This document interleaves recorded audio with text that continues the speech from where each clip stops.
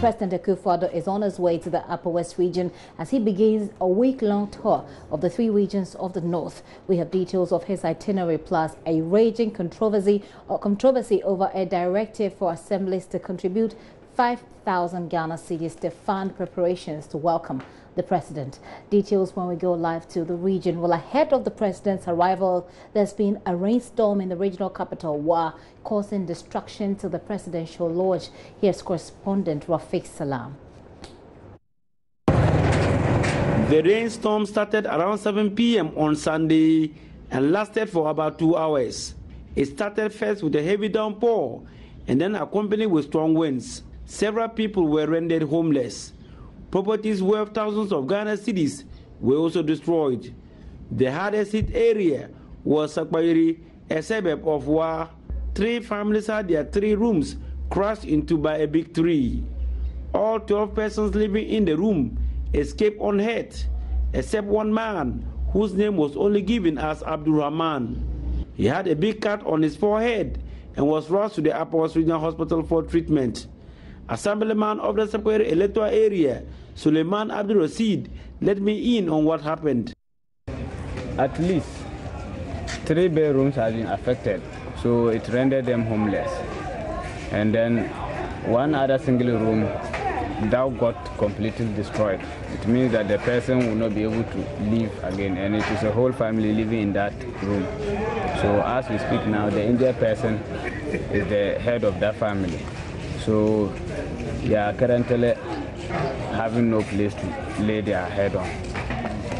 Arjatu Abdul Rahman was cooking in her room when the tree came into her room.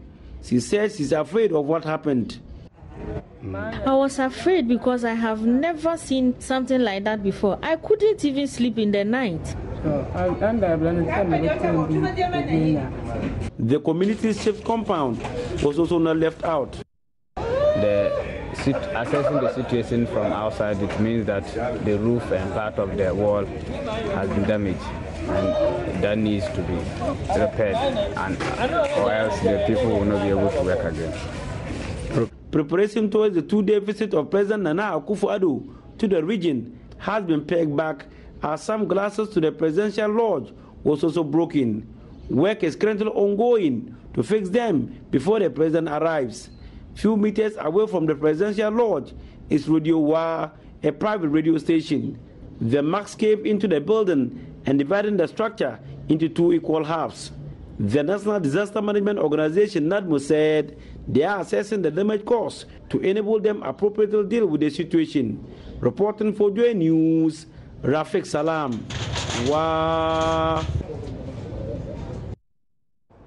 So that's what destructive water has done. We'll be telling you about what less destructive water will also be doing when the president launches that. But Rafiq Salam is joining me on the line from uh, Wa, where this happened. Uh, Rafiq, before we even go into the aftermath of the storm, we understand that the president has arrived. Is that correct, or what more can you tell us about that? Uh, Rafiq, if you can hear me, do tell us whether or not the president has arrived and what the details are so far.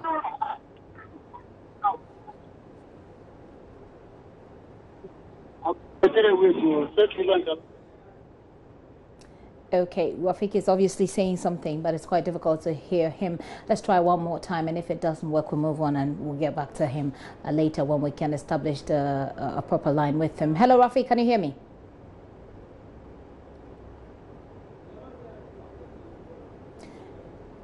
Okay, so Rafiq cannot hear me at the moment, but as you know, in the northern region, there has been a controversy over demands by the regional minister that uh, DCEs or MMCEs pay about 5,000 Ghana cedis as their own contributions towards preparation uh, for the president's arrival and for his tour of that particular region.